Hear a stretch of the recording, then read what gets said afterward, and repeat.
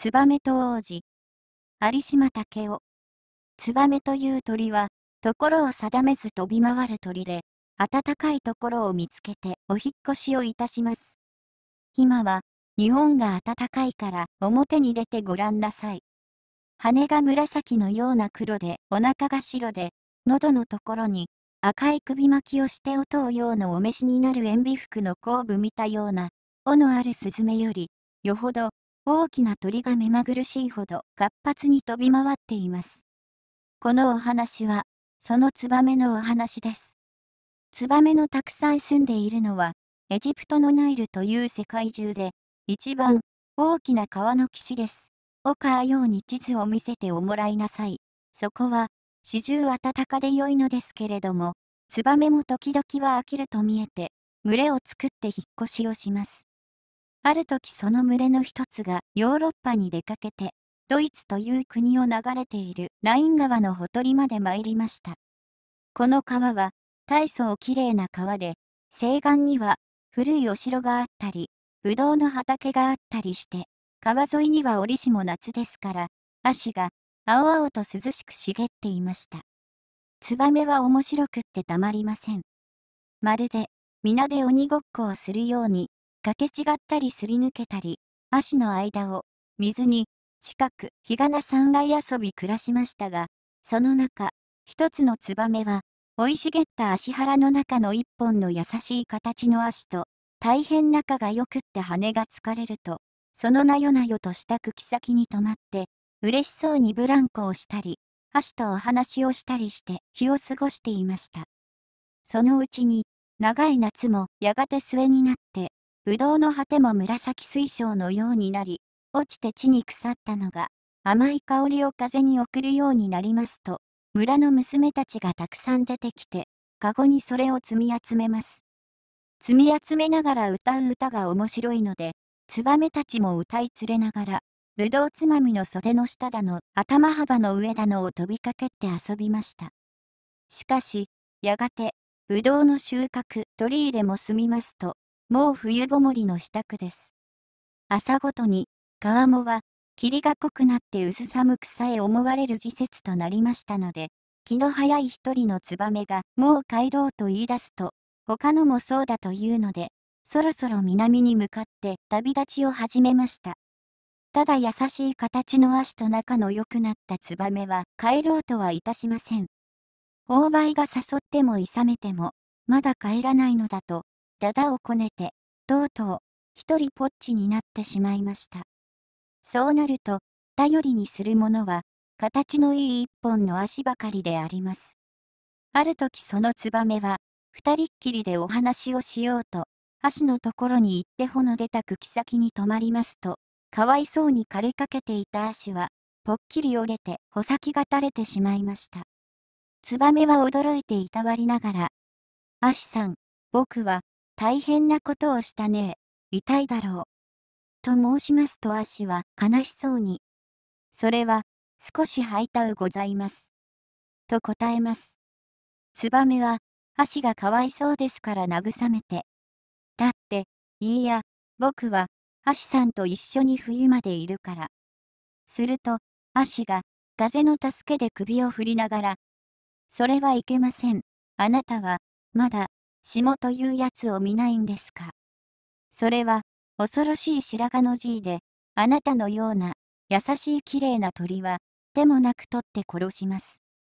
早く暖かい国に帰ってください。それでないと、私は、なお悲しい思いをしますから。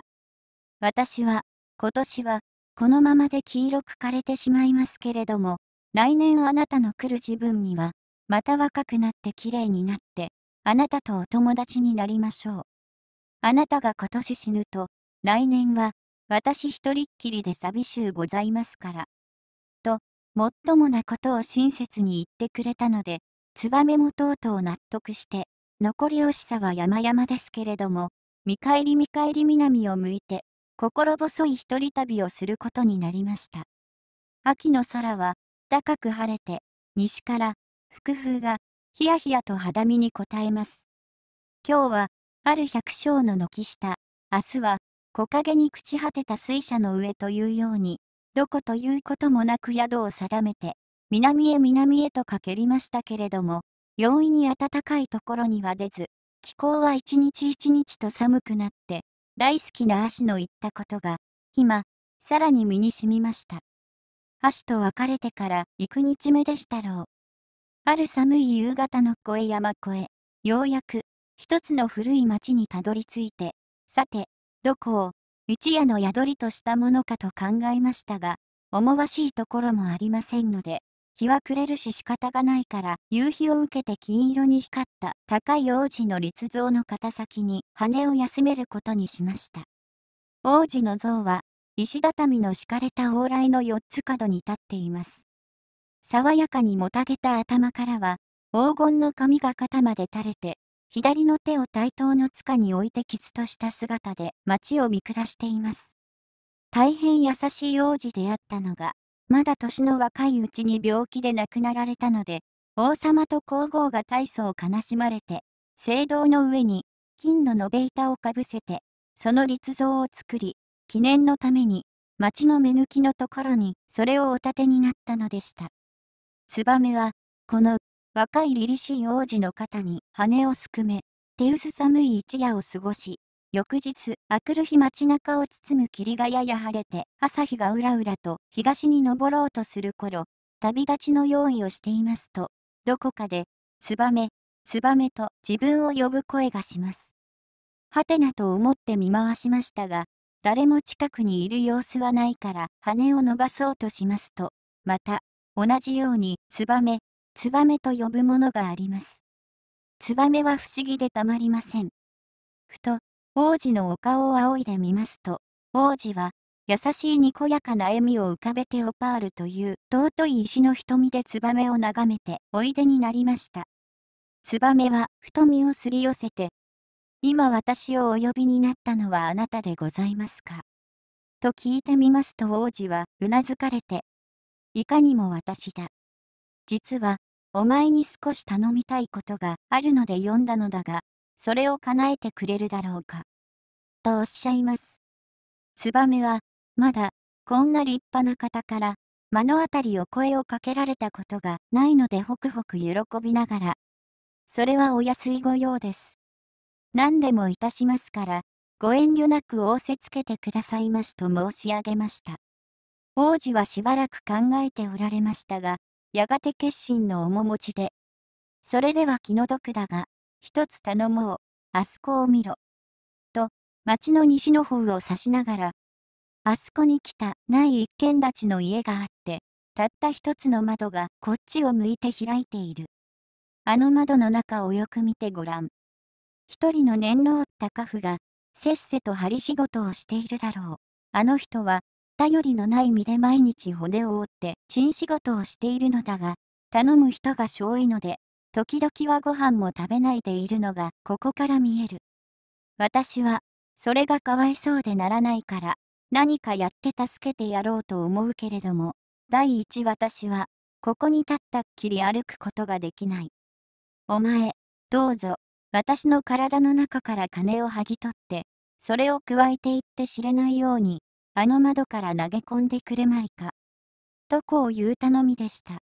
ツバメは、王子のありがたいお志に感じ入りはしましたが、この立派な王子から金を剥ぎ取ることはいかにも進みません。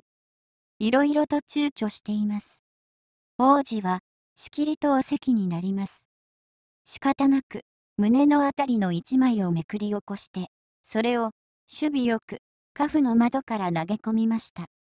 カフは、仕事に身を入れているので、それには気がつかず、やがて、ご飯時に支度をしようと立ち上がった時、ピカピカ光る金の延べ板を見つけ出した時の喜びは、どんなでしたろう。神様のお恵みをありがたくおしいただいて、その晩は、身になるご飯をいたしたのみでなく、長く滞っていたお寺のお布施も済ますことができまして、涙を流して喜んだのであります。ツバメも何か大変良いことをしたように思って、いそいそと王子のお方に戻ってきて、今日の始末を、逐一権上に及びました。次の朝ツバメは、今日こそは、親しいナイル川に、一日も早く帰ろうと思って、羽毛を繕って羽ばたきをいたしますと、また、王子がお呼びになります。昨日のことがあったので、ツバメは、王子を、この上もない良い方と慕っておりましたから、早速お返事をしますと、王子のおっしゃるには、今日は、あの東の方にある道の突き当たりに、白い馬が荷車を引いていく、あそこをご覧。そこに、二人の小さな小敷の子が寒無双に立っているだろう。ああ、二人は、元は家の家来の子で、お父さんもお母さんも、大変良い方であったが、友達の残言で淵には慣れて、に、三年病気をすると二人とも死んでしまったのだ。それで後に残された二人の章には、あんな小敷になって誰も構う人がないけれども、もし、ここに、金の延べ金があったら、二人は、それを御殿に持っていくと、元の通りご家来にしてくださる約束がある。お前気の毒だけれども、私の体から、なるべく、大きな金を剥がして、それを持って行ってくれまいか。ツバメは、この二人の小敷を見ますと気の毒でたまらなくなりましたから、自分のことは忘れてしまって、王子の肩のあたりから、できるだけ大きな金の板を剥がして重そうに加えて飛び出しました。二人の小敷は手をつなぎ合って今日はどうして食おうと講じ果てています。ツバメは、快活に、二人の周りを、に、三度慰めるように飛び回って、やがて、二人の前に、金の板を落としますと、二人は、びっくりしてそれを拾い上げて、しばらく眺めていましたが、兄なる少年は思い出したように、それを取り上げて、これさえあれば、御殿の感動も許されるからと喜んで、妹と手を引き連れて御殿の方に走っていくのをしっかり見届けた上で、ツバメはいいことをしたと思って、王子の肩に飛び帰ってきて、一部始終の物語をしてあげますと、王子も大層お喜びになって、一方ならず、ツバメの心の親切なのをお褒めになりました。次の日も、王子は、ツバメの旅立ちを気の毒だがとお引き止めになっておっしゃるには、今日は北の方に行ってもらいたい。あのカラスの風見のある屋根の高い家の中に、一人の画家がいるはずだ。その人は、大層腕のある人だけれども、だんだんに目が悪くなって、早く領事をしないと、めくらになって画家を拝さねばならなくなるから、どうか金を送って医者に行けるようにしてやりたい。お前今日も、一つ骨を折ってくれまいか。そこで、ツバメは、また、自分のことは忘れてしまって、今度は、王子の背のあたりから金をめくってその方に飛んでいきましたが、画家は、室内には火がなくて薄寒いので、窓を閉め切って仕事をしていました。金の投げ入れようがありません。仕方なしに、風見のカラスに相談しますと、画家は、ツバメが大好きで、ツバメの顔さえ見ると何もかも忘れてしまって、そればかり見ているから、お前も目につくように、窓の周りを飛び回ったらよかろうと教えてくれました。そこでツバメは得たりと、できるだけしなやかな飛びぶりをして、その窓の前を、に、三遍あちらこちらに飛びますと、画家は、矢庭に面を上げて、この寒いのにツバメが来た。というやいなや、窓を開いて首を突き出しながら、ツバメの飛び方に見惚れています。ツバメは、得たり、賢しと隙を伺って、例の金の板を部屋の中に投げ込んでしまいました。画家の喜びは何に例えましょう。天の助けがあるから、自分は眼病を治した上で、無類の名画を描いてみせると勇み立って、医師のところに駆けつけていきました。王子もツバメもはるかにこれを見て、今日も一ついいことをしたと、清い心を持って夜の眠りにつきました。そうこうするうちに、気候はだんだんと寒くなってきました。聖堂の王子の方では、なかなかしのぎがたいほどになりました。しかし、王子は、次の日も次の日も、今まで長い間見て知っている、貧しい正直な人や、苦しんでいる偉い人やに、自分の体の金を送りますので、ツバメは、なかなか南に帰る暇がありません。日中は秋とは申しながら、さすがに、日がポカポカとうららかで、黄金色の光が赤い瓦焼きになった木の葉を照らして暖かなものですから、ツバメは王子の仰せのままにあちこちと飛び回って御用を足していました。そのうちに王子の体の菌はだんだんに少なくなって、かわいそうにこの間までまばゆいほどに美しかったお姿が見る影もないものになってしまいました。ある日の夕方王子は静かにツバメを顧みてツバメ、お前は、親切者でよくこの寒いのも厭わず働いてくれたが、私には、もう人にやるものがなくなってしまって、こんな醜い体になったから、さぞ、お前も、私と一緒にいるのが嫌になったろう。もうお帰り、寒くなったし、ナイル川には、美しい夏がお前を待っているから。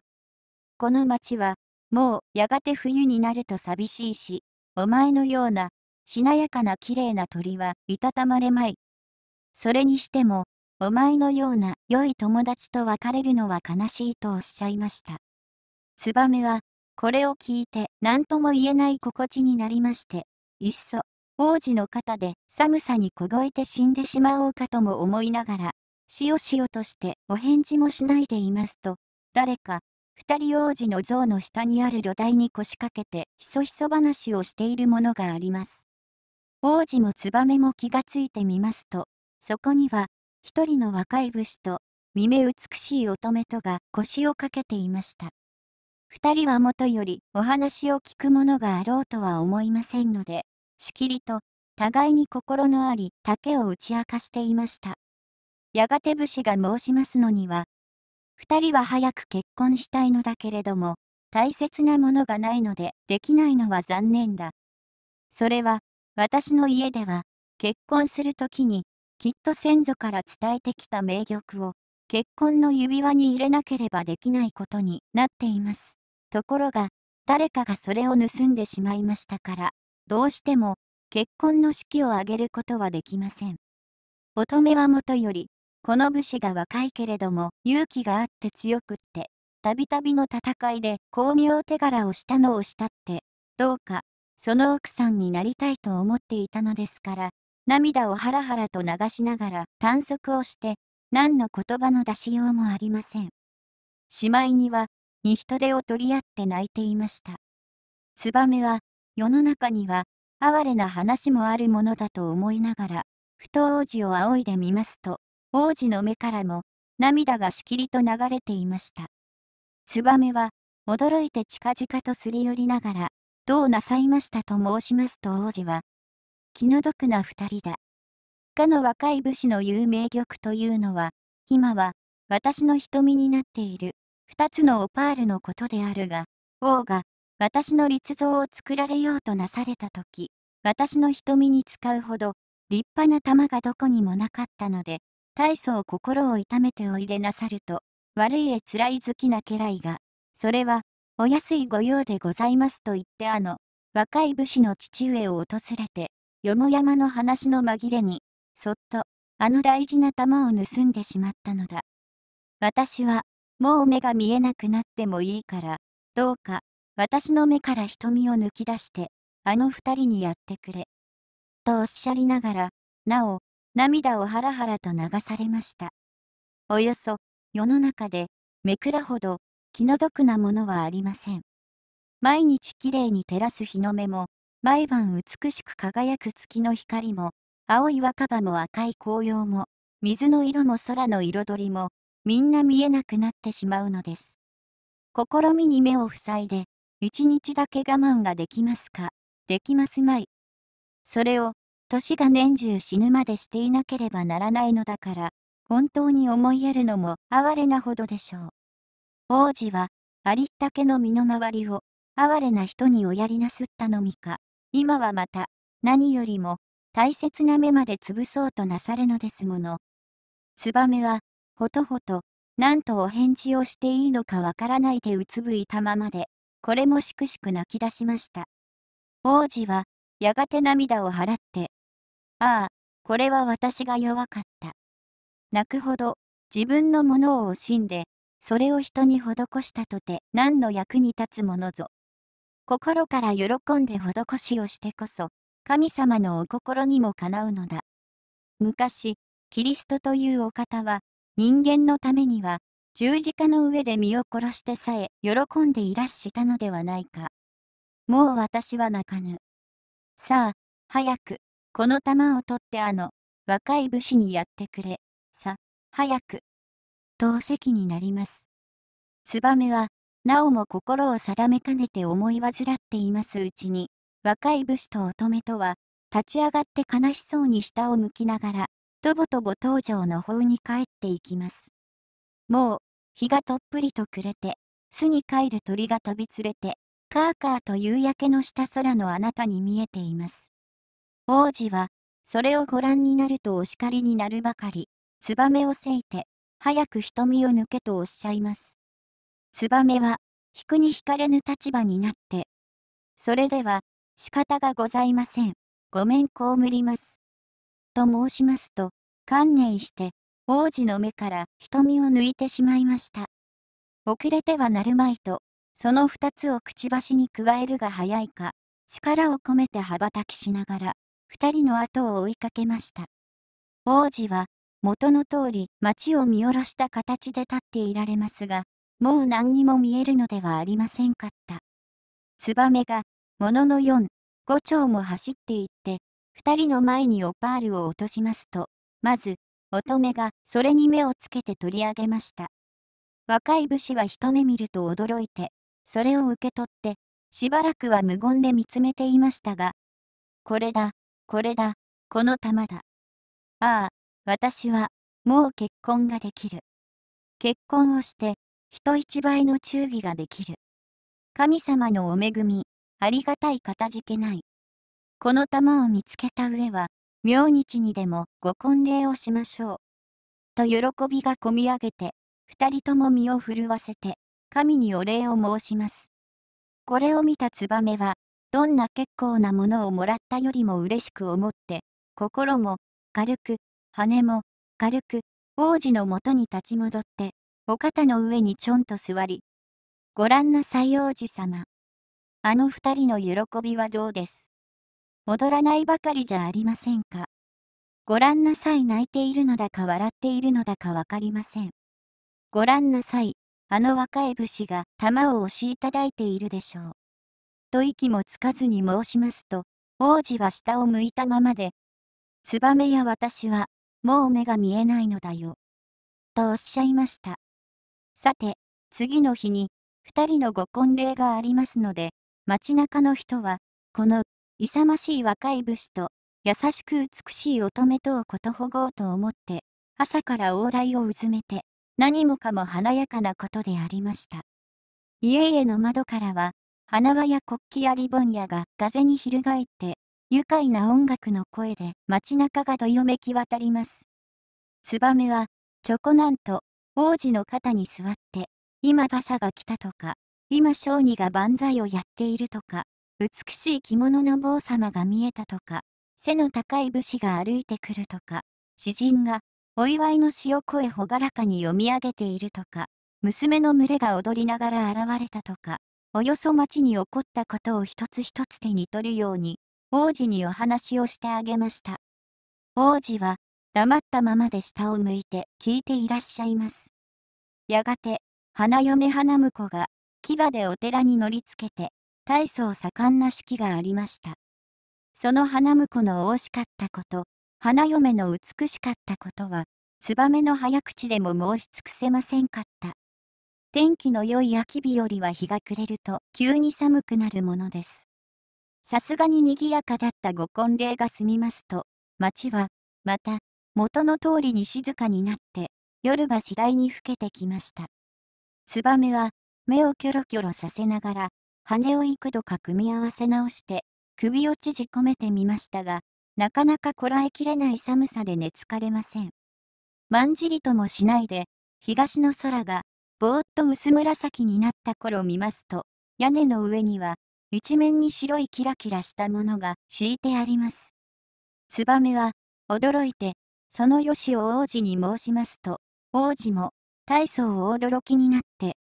それは、霜というもので霜という声を聞くと、ツバメは、足の言ったことを思い出してぎょっとしました。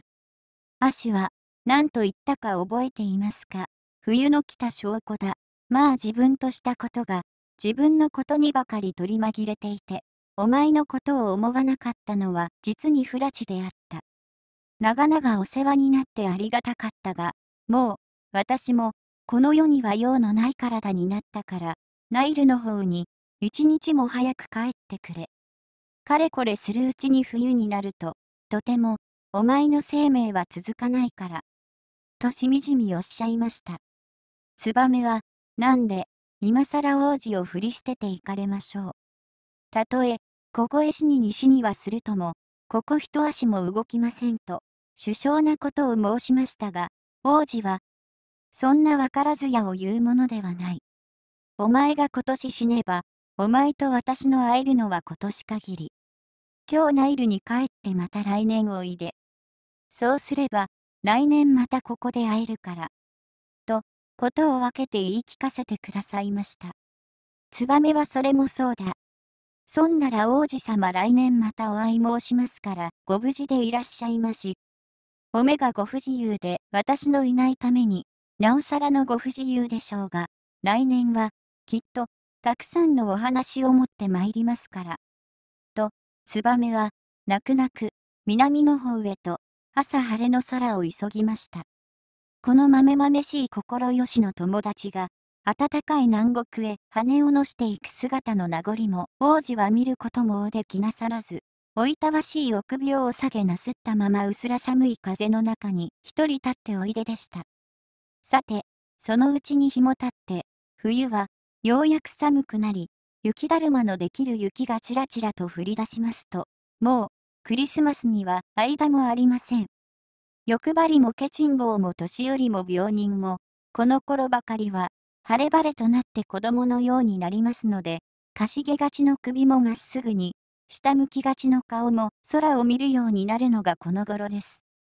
で、往来の人は、長々見忘れていた黄金の王子は、どうしていられることかと振り仰ぎますと、驚くまいことか透き通るほど光ってござった王子は、まるで雷病闇のように真っ黒で、目は両方ともふたと潰れてござらっしゃります。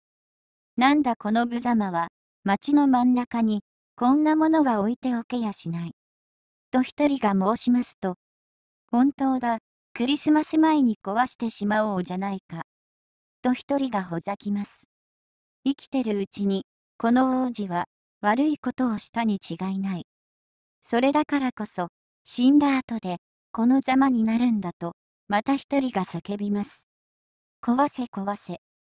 叩き壊せ叩き壊せ。という声が、やがて、あちらからもこちらからも起こって、しまいには、一人が石を投げますと、一人は瓦をぶつける。とうとう、一塊の若い者が、縄とはしごを持ってきて、縄を王子の首にかけると、みんなで寄ってたかってええ引っ張ったものですから、さしもに堅固な王子の立像も、無残なことには、礎を離れて転び落ちてしまいました。本当にかわいそうなご最後です。かくて、王子の体は、1ヶ月ほど、地の上に横になってありましたが、町の人々は、相談してああしておいても、何の役にも立たないからというので、それを溶かして、一つの鐘を作って、お寺の2階に収めることにしました。その次の年あのツバメが、はるばるナイルから来て王子を訪ね回りましたけれども、影も形もありませんかった。しかし、今でもこの町に行く人があれば、春でも夏でも、秋でも、冬でも、ちょうど日が暮れて仕事が済むとき、火がついて、夕、水の煙が家々から立ち上るとき、すべてのものが楽しく休むその時に、お寺の高い塔の上から澄んだ涼しい鐘の音が聞こえて鬼であれまであれ、悪いものは、一刻も、この楽しい町にいたたまれないように響き渡るそうであります。めでたしめでたし、